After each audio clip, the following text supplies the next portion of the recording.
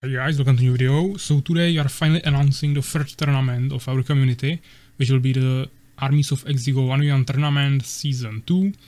And in this video I'm gonna tell you all the information that you need to register to this tournament, all the rules and other things that you might need to know uh, to play with us or just watch the tournament on Twitch of course. Uh, so first, if you want to uh, know all the information about this tournament and also register, you will need to go to our Discord server. So you will just go to my YouTube channel where you are just watching this video, uh, and either in the description of this video or or any other video, you will click on the Discord link, or you can just go to the information about my channel right here, and here is also the Discord link that will just invite you to the community. Uh, once you are in the community, it's gonna look like this. Uh, and as you can see there is many channels. The one that you want to go to is the announcements channel. So here you will find the announcement message where we announce the tournament. As you can see it was like uh, 20 minutes ago. And here is just the poster. Uh, you can read the basic information here but uh, it's just to catch the attention of course. But to actually register for the tournament you need to uh, scroll down as it's actually stated right here. And uh, you will just react to this message to this post with this green mark. And uh, after you react to this you will receive the tournament participant role which will give, give you also the green name here on the right and also it will unlock two new channels for you. So first one is the tournaments channel which is used for communication and then you have the registration channel which is the important one. And here you will find all the information and you will also confirm your participation in the tournament here uh, so if you go to the top of this uh, to this channel, you will see that there are rules. So we'll definitely walk through these uh, in this video. Then there is the map pool where you have all the eight maps that will be used during this tournament. And also every player is able to ban one of these maps. So uh, when you are making the registration where you need to state which map you want to ban, you definitely need to use this map pool and then you have just the basic information. You can read through that yourself of course uh, what is not allowed in this channel and things like that. And then there is the registration which is in this format. As you can see uh, already a few people registered here. Uh, so you can see you just write your nickname which is your discord name. Uh, then what map you want to ban from eight maps that you saw above in the map pool. Uh, then you write your nationality and then allegiance which is just how many tournaments have you already participated in.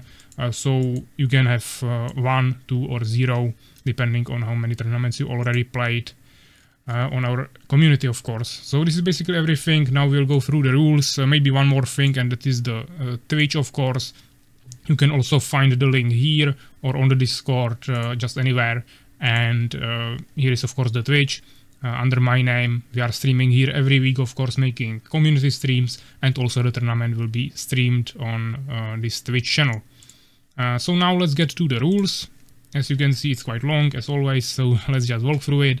Uh, it's still pretty similar every, every single time, but uh, there are always some small changes, so I will walk you through them.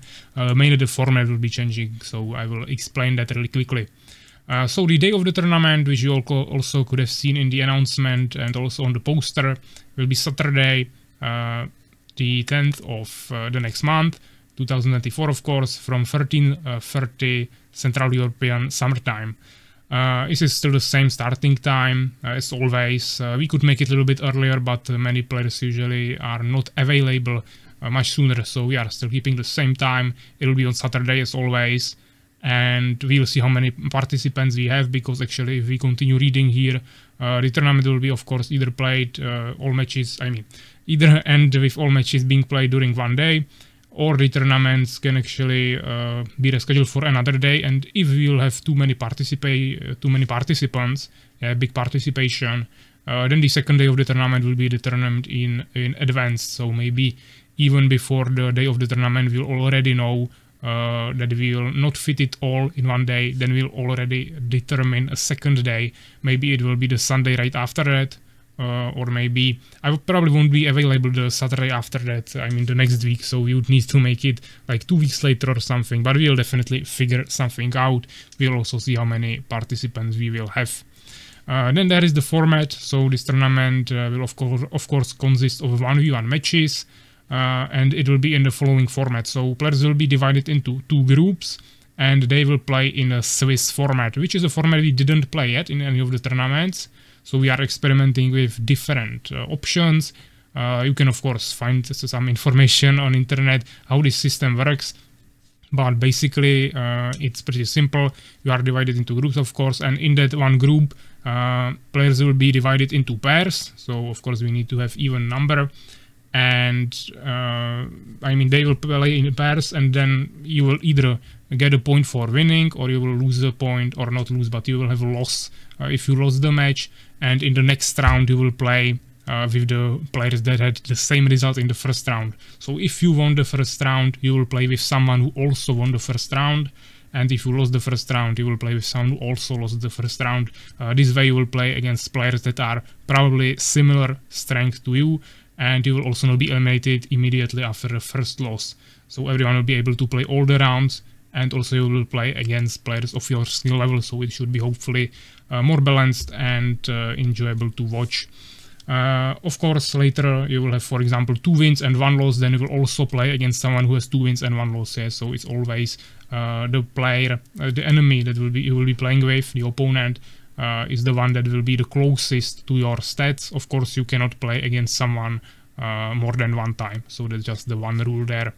Outside of that, it will be working like that. And uh, then, of course, two players from each group with the most wins, so the best score, will continue to the semifinals and everyone will be of course eliminated after that. Now we'll see how many players we'll have. Uh, depending on that, you'll either play three or probably four rounds in the Swiss format, of course, for each group. So it will be actually many games. Uh, then the four players, of course, that we have from the, uh, I mean, two from each group. So four players that will be in the semifinals. There will be once again paired, uh, pair into pairs, and they will play a best of three format, just one once again against each other and then of course a winner of each of those uh, one yuans best of threes uh, will go to the finals and they will also play a best of three format yeah last time in 2v2 tournament we were actually experimenting with best of five but uh, players didn't even know that we are playing best of five. Also it was really long uh, everyone's already tired so we decided to reduce this to best of three once again even in the finals. And in semifinals we also have best of three. Uh, so the registration, uh, really simple, participants must register through the Discord as I showed you in the beginning. Um, you just go to the channel that I showed you and the registration deadline is two days before the tournament, so always remember that. Uh, of course, uh, at midnight, so you still have some time even during that day. Uh, the tournament is open to all players, of course, that have armies of Exigo. Uh, you, must, you must adhere to all the rules and regulations outlined in this document and any violation of course can result in disqualification. Uh, organizers will pair the players for each match and uh, everything will be communicated through the Discord server. So even during the tournament, you need to be online on the Discord server and uh, and listen to all the uh, all the information that will be giving to you. Uh, participants are required to join the designated game lobby at the scheduled time using Radmin VPN. So that's the uh, the program or third third part side, let's say, that we are using to actually play um, play multiplayer in Armies of Exigo. And failure to do so within five minutes will result will result in a forfeit. So you definitely want to make sure that you are on the Discord, finding all the information quickly. Uh, that is one thing. I will skip a little bit. We are of course streaming once again on the Twitch as I showed you in the beginning, and we will try to uh, not add a delay to the stream. This will be the first tournament without delay we are experimenting with that. Uh, if we'll of course find that people are cheating, uh, then we'll we will include the delay next time. But uh, of course, any form of cheating, including watching stream when we are playing, uh, is bannable. Yeah, you will be disqualified from the tournament, and maybe even some further actions can be taken against you. So definitely don't try to cheat, guys. Uh, if you are playing, just don't watch the stream. You'll only get yourself banned, and you'll also make the uh, the stream have delay for the next tournaments, which no one really wants because it's just making everything much harder. So we are trying without the delay. But let's go back to the match procedures. Uh, so participants are required to create an in-game profile with their Discord name for the tournament matches as always, so we know who is actually joining the lobby. Uh, the games will be played on eight different maps as you saw in the map pool and each player is able to ban one of the maps and you have to decide it before the tournament so you will ban one map and it will stay as your ban for the whole tournament. That's why you need to include it in the registration and for each map one of the remaining maps will be just uh, randomly chosen. Yeah, so two will be up to two will be banned. Of course, if both players that are just playing banned the same map, then that is the one that is of course eliminated, and we'll be uh, choosing from the remaining seven maps. And we will be playing with reveal terrain, 75% uh, game speed, and also of course game version 1.4. Uh, an announcement video that you are just watching uh, is here of course on the YouTube channel. Uh, and also all the matches and also the whole whole tournament stream will be uploaded to the YouTube channel after the tournament is finished. Uh, yeah, any form of cheating, including using unauthorized third-party software, which is also, of course, Twitch, uh, or colluding with your opponents is strictly prohibited. Uh, the only ad allowed add-on is Armies of Exigo Resolution, Full HD mode. You can also use the small edition that will move your resources to the side. That's also fine. That's let's say uh, just a part of this full HD mode. Uh, any player found to be cheating will be disqualified from the tournament. Uh, any further actions may be taken at the discretion of the organizers. As I said, just don't cheat, guys. Uh, if there are any technical issues that will uh, disconnect the players, the game will crash, whatever, we just cannot uh, finish the match because of technical issues, then organizers will once again de determine the appropriate course of action. We can either uh, reschedule the match or just uh, announce the winner if it was already towards the end of the game. Uh, all official communication will be of course in English and it will be on the Discord server and you are also expected to communicate in English uh, in any communication that is associated with the tournament and also interaction with others of course. Uh, the winner of the tournament will be immortalized in the Hall of Fame on our Discord server and also below the stream on our Twitch.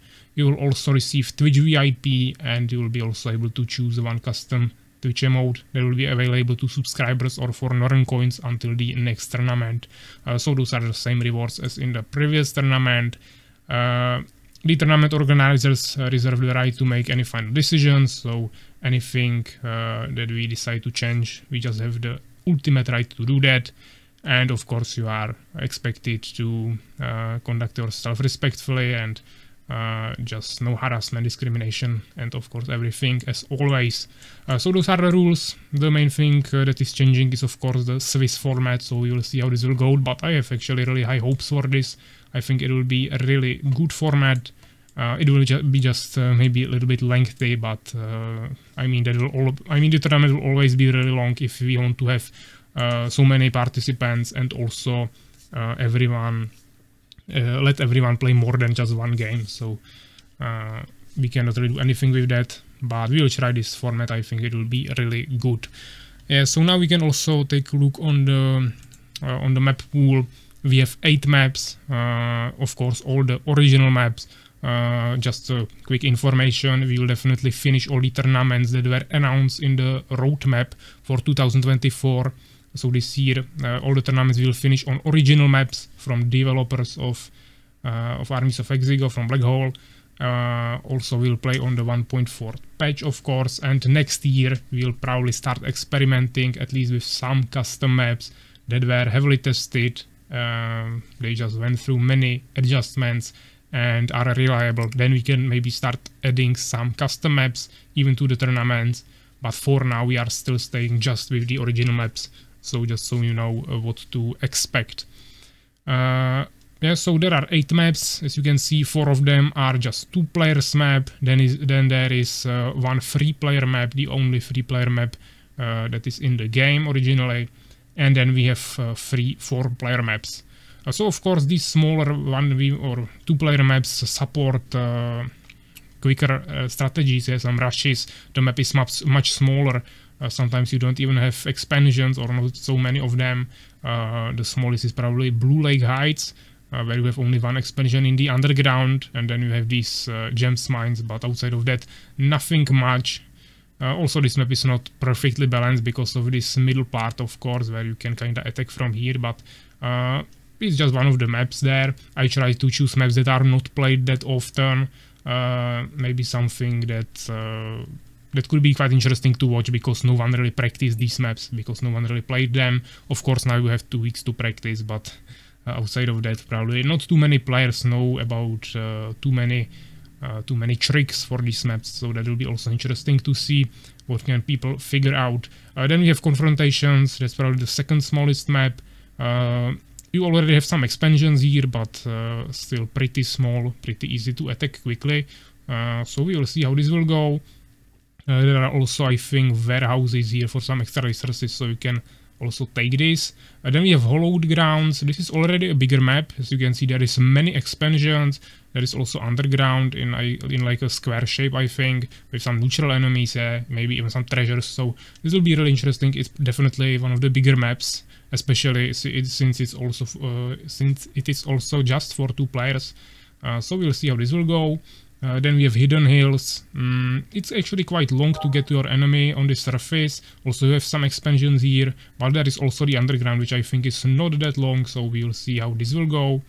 Then we have the triple threat, uh, which is uh, quite small actually. I mean, you can get pretty quickly to your enemy, but there is this factor that you don't know where your enemy actually spawned, so this will be definitely interesting. We have also expansions that are unreachable from ground. Uh, there are neutral enemies in the middle, uh, actually quite strong. Yeah, with goblin shamans uh, protecting warehouses for extra resources. Then we have many expansion options on the map. You'll definitely need ton of scouting here, so this will be really interesting as well. Then you also, of course, have Dark Side Forest. Uh, I mean, basically always this will be in the map pool. Um, I, I know that uh, people probably start banning this map really soon, but uh, it's just the standard. Yeah, everything is always played on this map, so I just need to include it. Uh, and then I included uh, No Man's Land and Spider Realm, which were already in the map pool for the previous tournament for 2v2 Showdown uh, number 1. But uh, even though not everyone banned these maps, uh, they were just not picked a single time, I think. Uh, either of these maps was not picked a single time, I think. Uh, so I decided to include them now. Uh, also, they are quite big, so it definitely supports some uh, fast expansions, uh, and it kind of balances the other maps that we have here. So Blue Lake Heights and Confrontations, which are really small. Then we have these maps that are really big.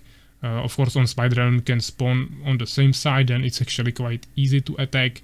But you can also spawn on the other side of the map and you need to actually connect through the underground or with flying units, then definitely it gives you much more options for some longer play. So we'll see how this will go. Definitely many options. You can of course choose that one ban and outside of that it will be always a random, random choice. Uh, so yeah, this is basically everything for the tournament. Uh, the last thing I will just show you or remind you uh, is the Radmin VPN. So you just go to internet, you write uh, download Radmin VPN, you install it, uh, you will just log in or something, and then you just need to join the Armies of Exigo server. So you go to networks, uh, join network, to gaming networks, and here you just write Armies of Exigo and you will uh, you will just join Armies of Exigo server right here. You don't need any more uh, any more passwords or anything. You will just see all the active uh, or online players right here. Then you just launch your game and you can join immediately. Uh, and then of course you will know uh, about all the information for the for the matches where you need to join at everything you will know it from the discord server probably from the tournaments uh, or registration channel uh, so yeah this is basically everything guys if you have any questions you can ask me in the comments uh, or you can just ask me on the discord server I hope you will play with us, of course. And if you don't want to play or cannot play or something, you can always at least come to our Discord, uh, to sorry, to our Twitch and uh, support, of course, the players uh, through the stream. As I said, there will be no delay, so even the interaction will be probably much better. And uh, of course, the tournament streams are the best. There is always the most amount of people uh, you can talk to everyone so it will be really nice and I would like to see you at least on the Twitch. Uh, so yeah, thanks for watching and take care guys.